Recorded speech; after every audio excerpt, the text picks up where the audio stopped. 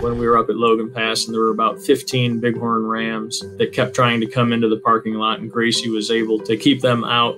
150 pound border collie against all those bighorn rams. She felt pretty good about herself. My name is Mark Biel, and I'm the Natural Resources Program Manager at Glacier National Park. And over my shoulder there is Gracie, the Bark Ranger. Uh, she's our wildlife shepherding dog at Glacier National Park. Girl, come on.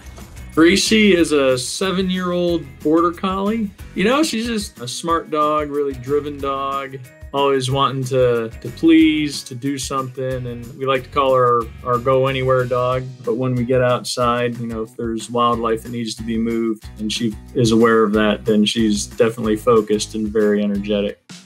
Gracie's title is Wildlife Working Dog. The media kind of latched onto the Bark Ranger tag because it's kind of catchy and cute. And the work kind of came about from research that we did up at Logan Pass, you know, where there's a lot of mountain goats and a lot of bighorn sheep in close proximity to a lot of people. A lot of park staff and visitors would comment, you know, what they were seeing visitors do around the sheep and goats. It was very unsafe. You know, people get too close to the wildlife, and that wildlife is still wild and unpredictable, or the animal could react a defensive manner, which could result in harm to the person or could even result in the death of the person. Also, this leads to the likelihood of us having to remove one of those animals from the population. And I noticed that other parks, like Waterton Lakes National Park, that's our sister park in Canada, they used border collies to move deer out of the town site to prevent bears and mountain lions from coming in at night and threatening people.